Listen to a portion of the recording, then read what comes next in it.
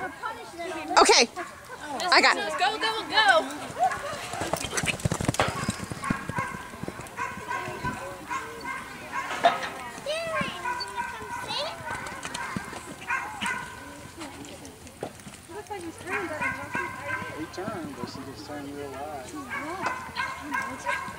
There you go. There you go.